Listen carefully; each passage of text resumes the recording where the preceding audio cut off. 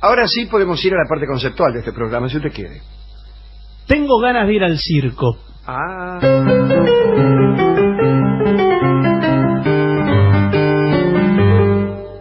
Pero, Pero, eh, veo que ahora los circos, es raro, uno va a un circo, no sabe muy bien con qué se va a encontrar. sí, Porque sabe con qué se va a encontrar. Se va a encontrar con un embole No, bueno, del orden del, del circo de Soleil o del teatro negro de Praga, que son expresiones artísticas sublimes sí. que eh, lo dejan a uno eh, deseando que termine de una vez para poder aplaudir de pie. Está en Buenos Aires el Circo du Soleil. Sí, ya lo sé, sí, sí. Todo el mundo te invita a ir a... a- Y muchos me dijeron, me dijeron, ¿eh? yo no fui, no lo sé, pero me han dicho que muchos periodistas no quieren decir que es un bodrio. Mm. Porque están bien vistos, Por- porque y es porque- políticamente y correcto porque los invi- estar a favor del Cirque du Soleil. Y los invitan los sponsors porque son muchos sponsors y, Es todo fenómeno, eso. también, Y también, entonces ¿qué te- qué tengo que difícil, decir? y bueno. si, si eso es un bodrio, entonces, ¿qué son los programas Eh, bueno, eh, de la televisión o de la Sí. radio? bueno, pero es más, es más, es más caro, ¿eh? Sí, claro, más caro. La, la radio es gratis por ahora. Claro, sí, es más caro. Pero no sé por qué no fui, señor, no, no, Bien. no voy a opinar. Me contaron. Pero escuché hoy, en la radio justamente escuché, que en Rusia hay un circo Ajá, que reemplazó circo de Moscú. a los animales. No sé si es el de Moscú. Vio que los animales no van más en los circos, No. va más en los zoológicos. No, ninguna no parte, más- eh, señor. no, Se puede esclavizar a las personas, pero los animales no. los animales no. Salvo en el subte que están permitidos. Después usted no puede tener animales en el circo. Claro. Entonces, Eh, salvo, como hemos aclarado días atrás, sí. que usted sea un animal que esté, eh, que pese menos de medio kilo, digamos. Claro. Que esté en la parte inferior de la pirámide zoológica y entonces puede ser eh, No le importa a nadie. masacrado en, en cualquier momento. Ese sale a granel, no importa. Claro, exactamente. No importa. Pero al, al otro animal no. Entonces, en este circo de, de Rusia, Sí. eh, frente a esta, eh, digamos, achicamiento del mercado, llamémosle así, dijeron, nosotros vamos a poner animales, pero en hologramas. Imagen de animal. O sea, el león que antes el domador le pegaba con un látigo Claro. y le metía la cabeza dentro de la boca, ahora es reemplazado por un holograma. Pero ¿y el holograma cómo lo hicieron? Lo grabaron eh, un día. Claro, o sea, esclavi- lo esclavizaron ese día. Una vez lo, lo esclavizaron. Bueno, es un avance, ¿no? Sí, no sé, porque se reproduce Claro. eh, quizás más veces. Claro, yo que, el- que el animal estaría preocupado. Si usted animal, eh, porque el animal es un laburo, o sea, perdió su fuente de trabajo. Claro, exactamente. El, el león, Está pasando con los animales lo mismo que ha pasado ya con las personas. Aparece la máquina, aparece el robot y entonces se hace muy difícil conseguir trabajo. claro, porque... Bueno, aparecen otras cosas también. sí, Claro. Pero yo león, que Sí. hice toda mi carrera en el circo, Exactamente. ya estaba medio burguesado inclusive ahí. Yo tranquilamente, ya había arreglado con el, el- Con el dueño. domador Sí. para que me metiera la cabeza en la boca sin que yo le arrancara el, el cogote, bueno. Es cumplir el horario, hacer lo que hay que hacer, le, me daban de ¿Y comer, dónde comer? No, tengo que salir a cazar todas las noches. a correr cebras. A correr cebras Ah. y, y así. Eh, bueno. No. Y ahora la vida te- del león es una vida... Sí, señor. El león salvaje tiene una vida mucho peor que la del circo. Y bueno, Pero bueno, es así. Y ahora estoy sin laburo. O sea, lo digo con las patitas, levantando las Claro. patitas. ¿Y qué, qué es de mi vida? Porque el león del circo no lo puede tirar. eh, que de Moscú lo tiran otra vez a la Eh, sabana ¿Qué africana. pasa cuando a un animal, se lo pregunto como zoólogo, ¿Usted es zoólogo? no, pero pongo esta cara, Ajá. Eh, ¿Qué pasa cuando un animal que ha sido criado eh, en la domesticidad es arrojado de nuevo a la selva, póngale, o a, a su hábitat natural, No, no sé. con, con las costumbres y, y las, las luchas con depredadores, etcétera, etcétera, que usted desconoce porque ha estado Claro. muchos años en una casa donde le dan todos los días un pedazo de acertillo. Le cuesta adaptarse porque el león que viene del circo y lo largan ahí a la sabana, Claro. está a determinado horario, que es el horario de la función. Él esté donde esté, abre la boca. Claro, y si ahora vienen me tiran... Ahora viene el, el domador, me pone la cabeza acá adentro. Y, Y se no. queda y ve que no... Y nadie le trae comida, No. tiene que salir a cazar y está lento. Claro, talento, no, no- no se puede levantar. No, y después vienen los otros leones también. Vienen los otros y le dice, así que vos sos el que venís de la, La- ciudad. lo cargan Sí. y lo someten a una vida. Vos sos ruso. ¿Dónde viste un león ruso? No, claro, no. hay. Nosotros los leones somos de acá. Eh, ¿qué, ¿Cómo están funcionando los circos actualmente? Porque a mí me gustaría ir realmente, bueno. más allá de esta declaración anticirco que acabo de hacer al principio del programa, Sí. pero, pero no, verdaderamente a mí me encanta el circo du Soleil y el, el Teatro Negro de Praga y todo Y eso. todo eso. Sí, bueno, sí. pero el circo. Nómbreme algo de eso. eh, que no sé qué es todo eso. eh, Todo, esto, todo lo que le gusta a todo el mundo. eh, Pero estoy hablando de gustos finos, ¿eh? No estoy hablando de... no, no, no, ya sé que no está hablando de, cosas masivas, más, eh, más y cosas que sean, tiene que ser muy caro, tiene que ser muy caro. Sí, tiene que ser caro, sí. Eh, y no sé qué más hay ahora. No hay más nada. Ese tipo Solamente el Teatro Negro de Praga y el Cirque du Soleil. Pero el Teatro Negro de Praga ya no. ¿No? No. Ah, yo pensé que era a mí solo que no me gustaba. No. es que es un poco reiterativo, ¿no? Eh, la, sí, claro. la técnica del Teatro Sí, Negro. claro, claro. Lo que pasa es que ya no sorprende como sorprendía hace 30 años. Eh, Yo lo vi hace poco, ¿eh? Por primera bueno, vez. Sí. Y no me sorprendió. ¿Por qué no me sorprendió si yo no, no lo había visto nunca? Tendría bueno. que haberme sorprendido. Pero usted ya recibió otros estímulos Ah, visuales. puede ser, claro. Eh, Uno está muy entonces- acostumbrado al milagro. Sí, sí. Sí, sí, demasiado. ¿Vio cuando uno ya vio tres, cuatro milagros? Claro, ya eh, viene Se abren las uno- aguas del Mar Rojo. ¿Y qué? Bueno, ¿qué, qué hay? Si ya... eh, la semana está. pasada abrieron las del Río de la Plata. Sí, en, ¿no? en Canal 11. Así que, ¿para qué? Bueno, muy bien. Bueno, pero en el circo usted puede ver, el circo tradicional eh, tiene la carpa, tiene eh, los trailers, Ajá. se traslada de un lado al otro. ¿Dónde hay acá uno de esos circos? No, y ¿Están aparece- todavía los circos Sí. tradicionales como el Sarrazani, el Hermano Rivero? Esos son los grandes, hay otros más chiquitos. Que Sí, esos, claro, el Circo Sí. Papelito, sí. Eh, pero ahora cuando andu- anduvimos por el norte pasamos por un circo. ¿Se no vi, no vi, a lo mejor no era un circo lo que usted dice. Sí, la ruta dijimos, eh, hasta hicimos una gracia. Eh, Que creo me- que la hizo no me usted. causó gracia. Sí, por eso no me causó gracia. Sí, señor, no me haga dejarlo al descubierto.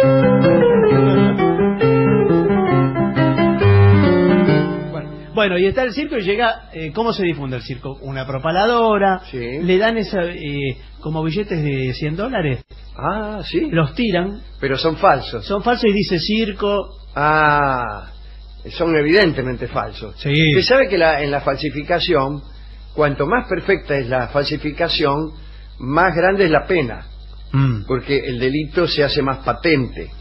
Eh, Por ejemplo, esos, esos billetes del circo constituyen también una falsificación, pero se entiende que no chiste. hay el deseo de llevarla adelante porque contiene eh, su propia refutación del Claro. otro lado. Dice, eh, vale por una entrada al circo no sé cuánto, ¿no? Sí. Que le, le ponen vale por cuatro los circos. Vio que este lo- los vales no son por uno. Nunca vi eso. Sí, tiene Usted un cuatro. Se aprovecha de mi total ignorancia acerca del No, mundo del no, circo tiene, tiene. para contarme cualquier cosa. Existen, No, dice vale cuatro. otras cosas voy a preguntar. Eh, fenómenos. Fenómenos Sí. como la mujer barbuda, el hombre... Está mal se- visto también. Está mal visto también. Está Y me mal parece muy bien que esté mal visto. Sí, sí, sí. Yo he sido, cuando niño, un pionero de lo que hoy es políticamente correcto. Pero no por mis virtudes, ni, ni, ni por mi civismo, sino porque tuve suerte. Claro. Me, me anticipé a ese disgusto por el circo, por sus fenómenos, por, por, el- por los animales. Nunca me interesaron los animales. Y yo creo que era una virtud no interesarse por los animales, porque mis compañeros que sí se interesaban por los animales, lo que hacían era martirizarlos o matarlos. Iban a cazar pajaritos. Claro, eso era, era muy... Iban a cazar pajaritos y yo por lo menos no estaba interesado en los pajaritos. Eh, o sea, para los pajaritos era preferible yo, Claro, que por no me suerte. interesaba en ellos. Por suerte para los pajaritos. Claro, claro, claro. Ese desinterés a veces se llama eh, tolerancia. Mm. Me parece demasiado. pero eh, cierta, cierto desapego constituye también una forma de convivencia. Sí, porque muchas veces el interés es aferrarse, ¿no? El, Claro, el no el dejar. interés redunda en perjuicio El del no objeto dejar. de ese interés. Mm. Se interesan en un tipo y lo vuelven loco. Se interesan en un animal y lo meten en una jaula. Sí. Y lo dejan ahí en la cocina durante toda la vida. O el perrito que lo viste, O el le perro que un lo suéter, disfrazan y lo agarran una correa, lo llevan, lo le llevan, ponen, o lo encierran en el balcón cuando se como el de acá enfrente. sí, le ponen un nombre estúpido. Claro, bueno. Y así. Este, Yo, yo si fuera perro preferiría el desinterés. Mm. El desinterés. Bueno, pero pero vamos al circo, ¿no? Bueno. A mí me gusta mucho eh, el hombre bala. El hombre bala, yo me parece que no hay más hombre bala. Bueno, pero cada vez que le eh, ¿qué es el circo? No hay la, nada. la gente va, se pone bajo una carpa y, se, y se vuelve porque no hay nada, no Es hay animales, camping. No hay eh, fenómenos de circo, no hay hombre bala, no hay violencia, no hay abuso, no hay nada. No, Entonces, bueno. eh, no hay circo, señor. pero hay ¿Qué tam- vamos al circo a ver qué? Charlas de, de filmus. No, señor. Vamos todos al circo Sarraceno y aparece Filmus y bueno, la educación. Bueno, eso claro, claro que es políticamente correcto, pero no es el circo, señor. Pero también hay payasos. Ah, Pero- todavía no terminamos con eso. Sí. no, pero igual los payasos. Sí, no- eh, no se pegan son otra clase. No, No, no, ni- ni ah, ni uno. No hablan así tampoco, no, no. Hablan bien y hacen chistes. ¿Qué chistes? No hacen no, chistes. no, no tampoco. hacen chistes. No, Son alegorías. Eh, no hacen como mimos. Ahí mismo, pues, ese es el... eh, La, Se la apoyan en una pared que no existe, Eh, claro. cosas así. Esa es más la corriente del payaso francés, el Pierrot, Ah, el Pierrot. que es un payaso más triste, más eh, melancólico. Tiene su, su arte ese payaso. sí. Es otra cosa. Pero no está más el que trastabilla y le pega al otro, El se abusa. Claro, el que le pega y se siempre hay uno que es Y hacen tonto. el ruido de las cachetadas. Sí. Claro, todos parecen Marcel Marceau. Claro. O el que lo explota, vio que hay uno que lo hace trabajar al otro. Ah, sí, sí. Y bueno, eso tampoco. Entonces los chicos, eh, tampoco está muy bien reírse todo el tiempo el payaso. No está bien visto. ¿No? No. Y Y esos se ríe. El payaso que anda en la bicicleta, eso sí va. El que Sí. anda en la bicicleta de una sola rueda, Sí. en el monociclo, eso sí, ¿no? Y que se ríe, pero no hace chistes, solo se ríe. Con Se una ríe. sonrisa así, Sí. y entonces, o toca el acordeón. Toca el acordeón. Tiene quizás instrumentos fuera de escala, cosas fuera de escala. Ajá. Eh, las cosas chiquitas. Un instrumento demasiado grande o demasiado, o demasiado pequeño. pequeño, como los zapatos que están siempre son Claro. eh, gigantescos, la corbata grandota, ese tipo de cosas. Ese eh, tipo de humorismo eh, que, que nunca termina de gestarse del todo, pero que es una actitud estética, diría yo, más que nada. Mm. Sí, sí, está bien. Bueno, Y, fuera de los circos sí hay otros payasos, hay payasos muy malos, ¿eh? Malos de ¿Cómo maldad, de malicia. Ah, de, mal- de Eh, malevolencia. Sí, sí, ese O sea, payaso. no malos porque son eh, malos en su profesión. No, no, no, no. Ineptos, no. No, no, hay payasos que son malvados. Y están laburando en las plazas, así. Ajá. los he visto. Pero podríamos los circos tener- no. Pero yo estoy muy interesado en volver al circo, pero usted lo que me está diciendo No, pero digo- es completamente deceptivo. No, pero hay cosas, por ejemplo, todo lo que es contorsionismo. Ah, sí. Si usted se le, se le doblan mucho las partes del cuerpo, A mí sí, se me dobla mucho todo. bueno, eh, pe- pero eh, con voluntad, o sea, sí, voluntad. sí, usted sabe que eh, yo soy lo que se llama hiperlaxo. Ah, usted es hiperlaxo. Y ¿Y entonces entonces qué hace acá? Tiene que estar en el circo. Soy hombre de goma, yo. Sí, señor. Entonces me hago así, me agarro los dedos, ¿ves? Como me los revuelvo el vuelta Sí, todo. pero de ese vuelta Y la a mano. mí me gustaría, pero fui al circo y me dijeron, mire, hombre de goma tampoco trabajamos más. ¿Por qué no trabaja más? Porque eh, está el circo está, se está eh, despojando cada vez más. Va a haber circos minimalistas con Claro, un no. solo un solo payaso, digamos, vestido así como dice usted, en el monociclo dando vueltas alrededor de la pista mientras toca el acordeón. No, pero no sé, es un poco... Y eso hay- algunas personas lo encuentran muy agradable. Tampoco hay más, eh, y hace bastante, orquesta.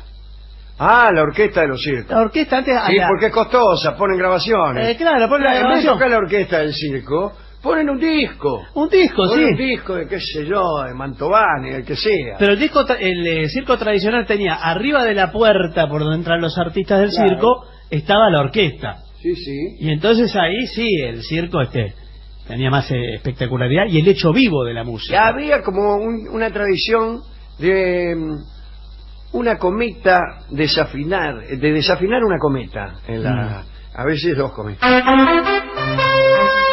Esto no desafina, pero to- tocaban canciones tradicionales. Perdón.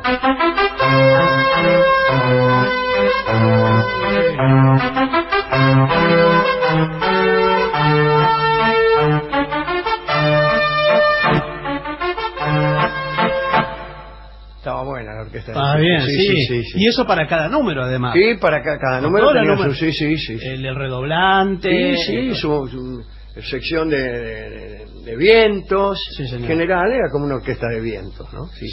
No había tanta cuerda, si es que había, pero sí había buenos saxofonistas, todas, todas esas cosas, ¿no? Cuanto mejor era el circo, la orquesta. Sí, la sonaba orquesta es mejor. Pero bueno, lo sacamos también. La orquesta También, sí. eh, también la sacamos. Lo que sí dejamos es el acerrín. Sí. ¿Por qué? No así las carpas, porque en realidad los buenos circos ahora se presentan en teatros Claro, bueno, sí. Pero no, pero este es el Cirque du Soleil. o en el Luna Park. Cago en el Luna Park. en estadios así. O sea, Sí. carpas no tenemos tampoco. Buenas tardes. Bueno, pero las Yo el carpas, señor eh, du Soleil. las carpas del Cirque du Soleil son bastante mejores que el Luna Park. ¿eh? Eh, sí, entiendo que sí. Lo cual no es una gran eh, No, meta, no, ¿no? no, no. No es eh, fa- fácil de superar esa. Lo que sí es eh, el lenguaje universal de todos los circos, Sí. es el de los equilibristas. Ah, ¿sigue habiendo equilibristas? Sí. ¿Y trapecistas? Todo eso, ese mismo tipo que se Ah, cambia, se cambia de calza, se cambia de calza, se pone la, la- Van con calzas todavía, ¿no? Sí. O sea, porque por ahí eh, pensaron que eso tampoco era muy correcto. no porque eh, una prenda no va a ir con un poncho que se le puede enredar Claro, o se sí. le corre y hace más peso de un O un traje que- sastre, la mina. No, no. O tacos altos. No, No, evidentemente no. Pero eso me gusta. El equilibrista. El equilibrista ¿Usa red el equilibrista? Eso ¿O está sujeto a una caída fatal? no le pone como- Colgada del frágil trapecio, etcétera, etcétera, como el tango La muchacha del circo. no, ¿Qué le pasa a la muchacha del circo? ¿Qué le pasa? Eh, y pobre muchacha del circo, buscando un aplauso, la muerte encontró. Mm.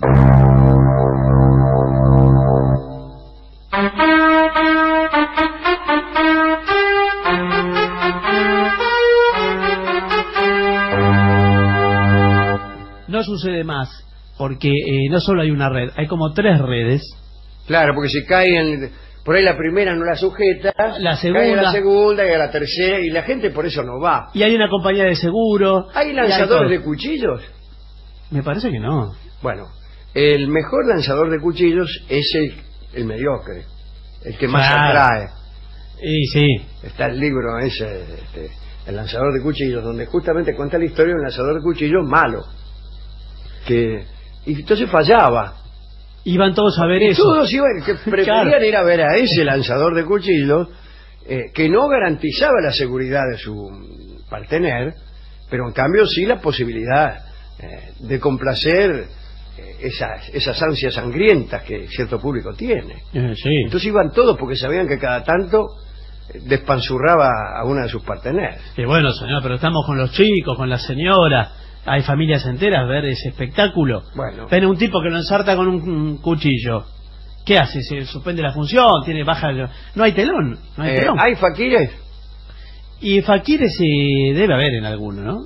Eh, ¿Son verdaderos faquires o son la idea que nosotros tenemos del faquir? Ese es el niño incrédulo que dice deben ser los clavos de goma. Claro. eh, todo eso. Sí, seguro. No, usted tiene que poner eh, su propia fe.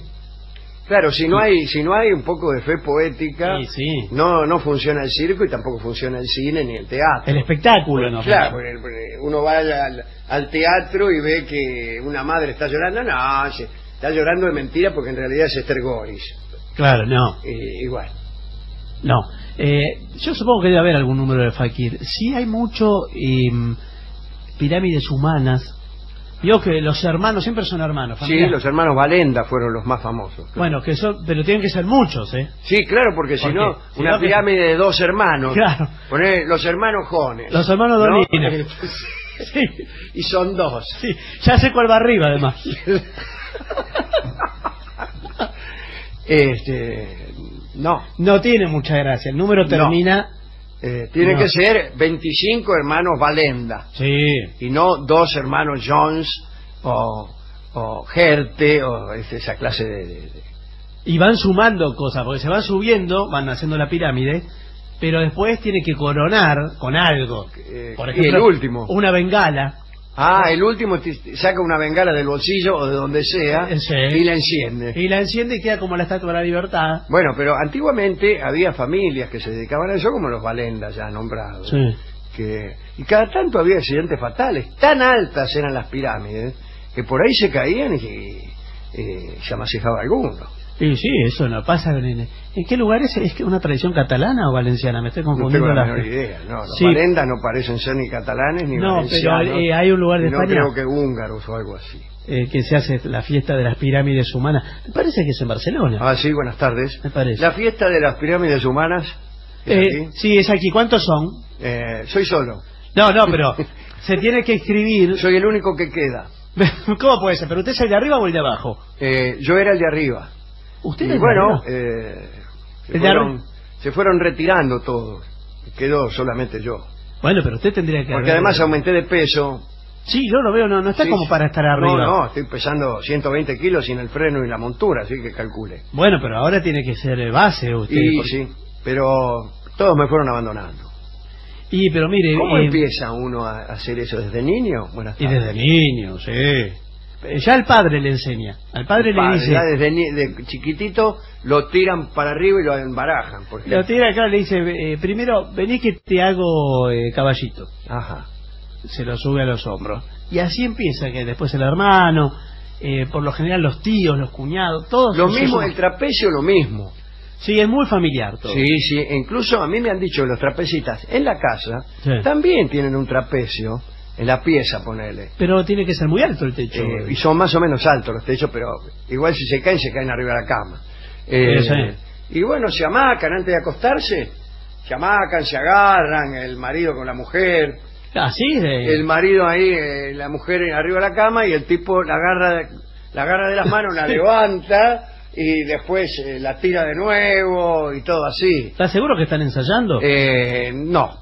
Claro, es Pero raro. qué fantástico eso, ser uno trapecista y tu novia trapecista. Sí, es que Ah. tiene que ser así. Tiene que ser así, porque si no, la atracción que se produce eh, en esas situaciones de peligro, Sí. imagínense, te tenés que poner de novio. A mí me gustaría muchísimo ser algo de eso. Sí, sí. Sí, sí, y sentir que tu novia eh, depende de vos. O que Vuela. vos vuela. Ahí viene volando. Una que viene volando y la embarajás. Pero a veces necesitan otro tipo, ahora que estoy pensando. Sí, varios. Otro tipo que eh, te agarre a tu novia cuando vos la tirás, como ocurre en la vida real, Sí. y por ahí él la, la suelta y vos la agarrás de acá y, y todo así. Sí, pero el tipo también tira a otra. Sí, sí. Porque hay otra Es que- mina. Sí, porque le digo, Es un- acá entre nosotros, ¿Qué? eso es un... Es un relajo, Sí, señor. es un relajo. Dígalo. Esto es un relajo. Sí, Buena gente. es, un, es un mundo que yo no quisiera conocer, No. señor. Pero si están todos los Está, chicos... sí, está todo el tiempo ahí medio desnudo, revoleándose. No, señor. No. Yo por eso no. Pero vio que se deforman eh, los pies y las manos para eh, calzarse mejor. Y, ¿Ah, sí? eso. Sí. Esos no son otros. No, son todos. Es más, no, el que es trapecista, es equilibrista, es, eh, Sí. está todos los días eh, haciendo algo de eso. Sí, es- siempre es algo del, del circo es. Sí. A la mañana es trapecista, a la tarde equilibrista y a la noche barre. Sí, y, y es boletero también. Eh, Que va- vende a la los boletos, sí, sí. Entra, sale. Bueno, vamos a ver qué es lo que dicen nuestros oyentes acerca del circo y especialmente este circo de Rusia Sí. que eh, bueno ha resuelto hacer sufrir a los animales de un modo virtual. Vamos a decir, antes, eh, hago una pequeña aclaración editorial. Sí, por favor. En, en el sitio del Facebook, eh, que La Venganza Será Terrible, sitio oficial, ahí recibimos los mensajes, hay un buzón para dejar mensajes. Sí, ¿no lo ven? Aquí Eh, está. es ese de ahí en el rojo, ahí dejan los mensajes. Pero además hay de pronto posteos que la gente puede hacer comentarios. Se batió el récord de saludos de cumpleaños, porque fue su Sí, cumpleaños. el récord mundial, creo. El récord mundial de, de miles de saludos. Eh, supongo que usted querrá agradecerlos, pero no los podemos leer a los mil y A los pico acá. cua- eh, iban cuatro mil y pico. Eh, bueno, entonces, eh, imagínense. Bueno, yo les quiero... ¿O quiere que los leamos todos? Mm, sí. Me gustaría. pero ¿por qué no se los lee yo he pasado muchos cumpleaños que no me saludaban ni al loro, ¿eh? Y bueno, porque Así que- no había dónde. ¿Eh? No había dónde. Y no, no había dónde, cierto. Pero, Pero no era porque no había dónde que no me saludaban. Bueno, ¿eh? no sé por Era qué. que no me querían, señor. Bueno, señor Key, de Así golpe. que ahora voy a empezar a leer todos los, los, los- No, los pero saludos. léalo, Todos, no, todos. Cuando se va a dormir. No, no, eh, hay un programa especial de la radio a las 3 de la mañana. Sí. De 3 a 6 de la mañana voy a leer todos los mensajes de cumpleaños. Y, y los lee Filmus y Aliberti. Sí. Imagínese. Bueno, Bueno, tome, aquí hay algunos mensajes, ¿eh? bien. Andrea Mazzarella. Hola Alejandro, espero que haya pasado un hermoso día de cumpleaños junto a sus hijos y sus compañeros de trabajo. Ayer, bla, bla, bla. Eh, ayer le pedía que leyera todos los mensajes que estaban dejando sus oyentes porque me conmovió ver cuánto cariño, eh, con cuánto cariño le escribía. Hoy veo que hay 1400, no, hay 4700. Uy, señor, pero Bien. esto es... Bueno, a ver... Mi eh, pedido musical dice es. Pobre Corazón. Eh, bueno, se lo vamos a pedir al sordo. ¿O, ¿O qué? ¿Usted qué prefiere? Pues, si no, podría... Estoy con mi pena de frente a la vida, rajada en girones mi felicidad, gotean en mi alma como desteñida las horas vacías de mi soledad. Con rondas de sombra me cerca el tiro, se nublan mis ojos al ver regresar en triste bandada pichones con frío mis sueños que apenas sabían volar.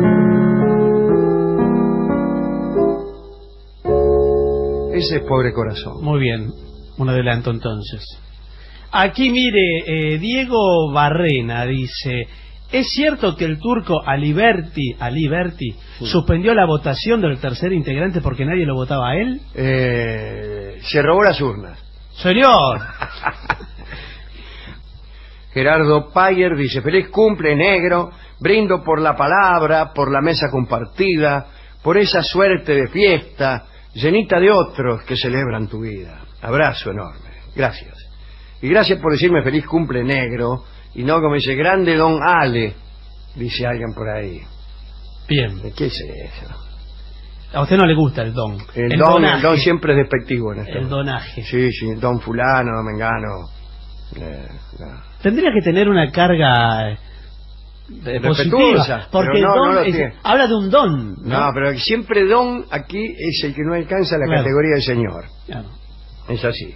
Es el capataz eh, en los ojos del dueño de la estancia. Una forma de respeto de los que están por encima o de los Mm. que se sienten por encima. Entonces te dicen, ¿cómo le va, don Alejandro? No, ¿cómo le, cómo le va Alejandro? ¿Cómo le va Negro? Pero yo no soy don nada. Señor negro. No, en todo caso, señor Dolina no está mal tampoco. Bueno, Gabriel. Agustín Romero dice, me pregunto si, es- si estando cargando, ¿qué, qué sé yo? No, dice, si me dejaría usted sentarme a su mesa para escuchar nomás, calladito. Ese soy yo en mi mesa. Claro. Usted se sienta a mi mesa, no me va a escuchar, pero ni, ni respirar. Pero se refiere- Dígaselo usted.